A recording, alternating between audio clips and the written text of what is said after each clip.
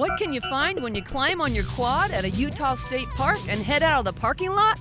More than you could possibly imagine, and we're showing you barely a glimpse today on At Your Leisure. I'm Ria Rossi Booth. And I'm Chad Booth. From there, we'll catch up with Stephen Human as he follows one family that shows you don't have to go far from home to find adventure. Lastly, Reagan Ledbetter will show you some alternatives to one classic camping staple. Own the outdoors right now with AYL.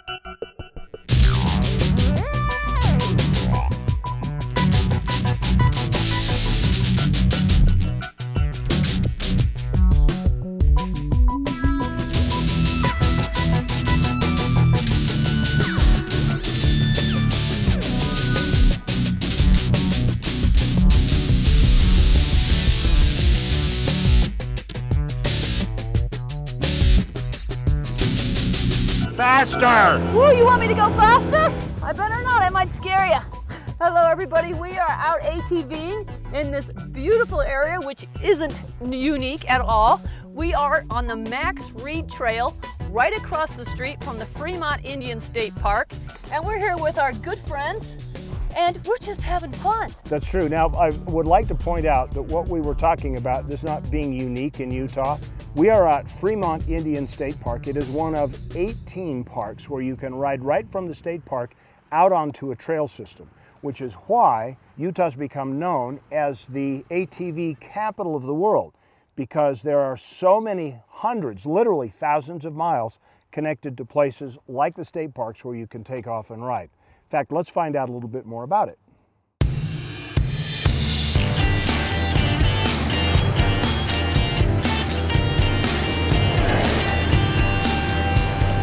There's 43 state parks, now. those 43, 18 of them offer off-highway vehicle access.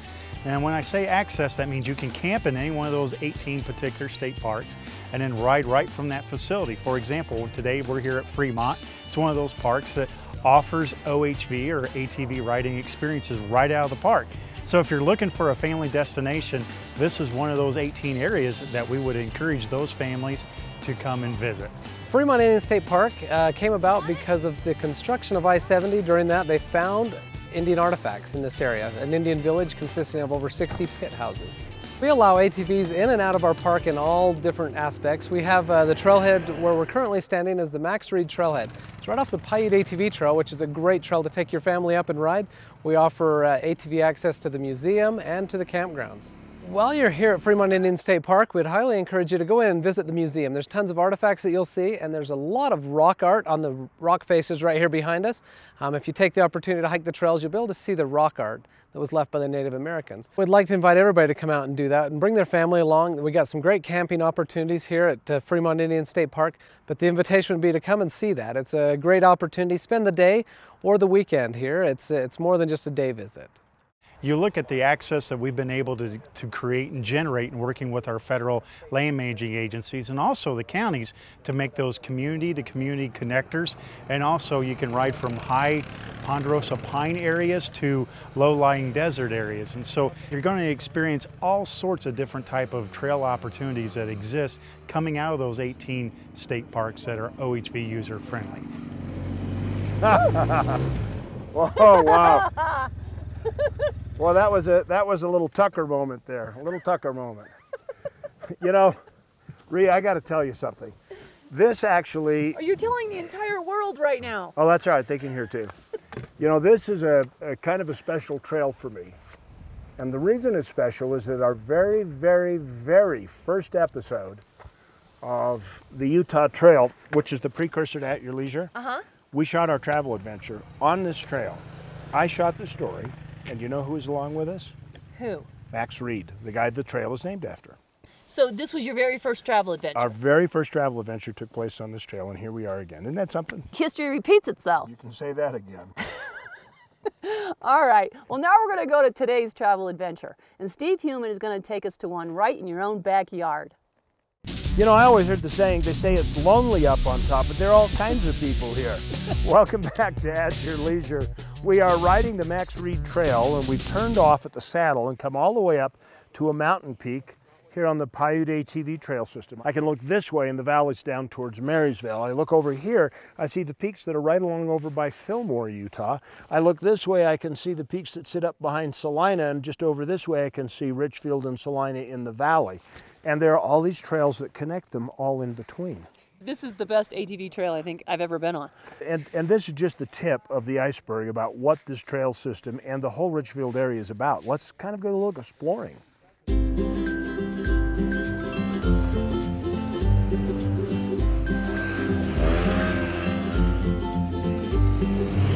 Central Utah is quickly becoming known as Utah's trail country. Uh, between the uh, Paiute, Gooseberry, uh, the Great Western Trail Systems, there's almost 2,000 miles of road and trail that can be accessed with ATVs, UTVs, motorcycles. We really enjoy not only the, the uh, proximity of the uh, trail system, being able to uh, just go right outside our front door, jump on an ATV and, and head out on the trail. But uh, we also enjoy the fact that the majority of the trails here in central Utah are intermediate in nature. Uh, they're very family friendly. You can go out with your family and not only enjoy a day of riding, but there's wildlife to see. You could stop at some of the lakes and go fishing. Just lots to see and do as you're out here. Uh, there's uh, old uh, mining history, ghost towns, those types of things. Uh, so it uh, really is an opportunity to, to do more than just ride. So we're standing in front of the Silver King mine, and this is the old mine entrance. This is where all the little miners had to come down here, and they stayed down here all day. For safety reasons, they have now closed it in, but it basically looks like it went right around here and the ore cars went right down into the mountain. And you know what? We're not the only outdoor adventure show that's up here. Adam Eagle's up here, and I think Chad's just about ready to photobomb him. Hey, will, it, will you get out of my shot? Chad Booth is oh. lost up here. We are at the Kimberly Lodge, and this used to be at one point a three-story lodge.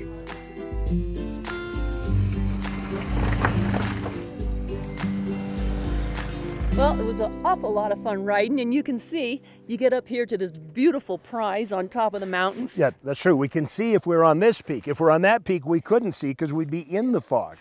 It reminds me of the scene from Paint Your Wagon where the clouds are rolling across the hilltops and and, and uh, the, the, the bar owner singing Mariah, Yes, and you sing that song really well. but I'm not going to here. you do it in the shower all the time. And, and these folks aren't standing in the shower with me, so it's not going to happen. and thankfully.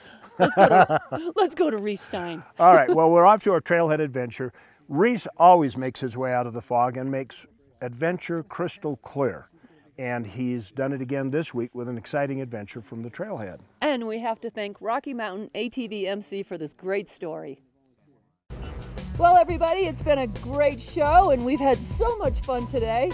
And I'd really like to thank State Parks, who is with us today, and Kevin Arrington from the wonderful County of Sevier, tourism director and economic developer over there, right? Yep, and these guys over here From the other show. from that other show. It was a lot of fun though. It was. so We've had a great time today. time. So remember that you need to get outdoors and create your own adventures at your leisure. We'll see you next time. When we come back, we'll have more product reviews. That, that I blew that on the end. Totally. And Steve's gonna. Oh my God, I can't do it. I, I, I, I, I know. I, I am like, I don't know what is going on.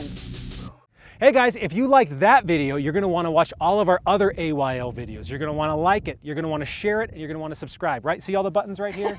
this is what you're gonna wanna do, right? Click, Click on them because we have some really cool videos, all kinds of behind the scenes stuff, bloopers of Alicia crashing and stuff. Why are you gonna sell me out like that, Steven? So you wanna click all of these things and subscribe to our channel because At Your Leisure is awesome and uh, we'll see you here for more videos.